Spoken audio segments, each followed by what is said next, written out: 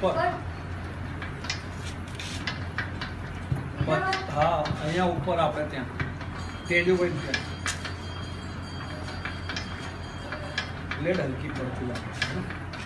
blade હલકી